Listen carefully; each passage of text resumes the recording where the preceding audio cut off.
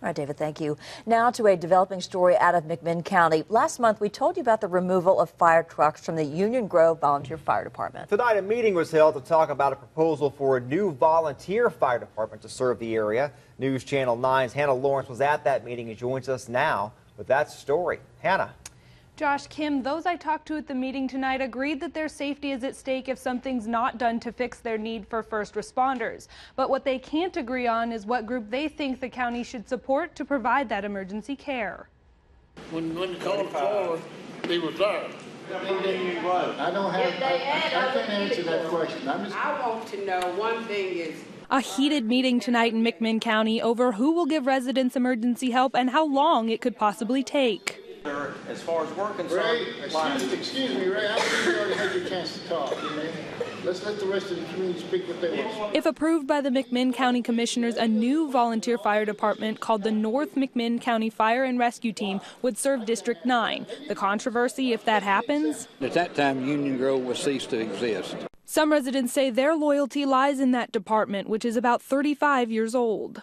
The fire hall and, and the people that the volunteers that have worked there they have been more than outstanding that over the years Union Grove people were asked, anybody that is qualified, you are welcome. Union Grove firefighters say they are qualified, but since their secretary, who's now facing felony charges, had been dishonest with funds and paperwork, they say they're having a hard time proving it. All of us went to training. We were all there with these other guys. We paid our money. Commissioner J.W. McPhail says the certifications aren't the only missing paperwork. He says the water utility company recently put locks on the fire hydrants because the correct paperwork was not being filled out through Union Grove to be able to use that water. And that's a problem because when fighting fire, You've got to have water. if approved, the new fire department would provide fire and emergency medical services. Would you say that the people around here are safe right now? In one word, no. But they're never. They haven't been. We need somebody over here. We need them immediately.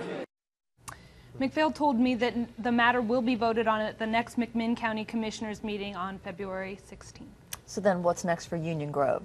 Well, Union Grove right now is, uh, they say they plan to be at that commissioners meeting, obviously to voice their opinions. Uh, they said that they are also getting help from other fire departments right now to respond to those calls. Okay. That's good news. Hannah, thank you.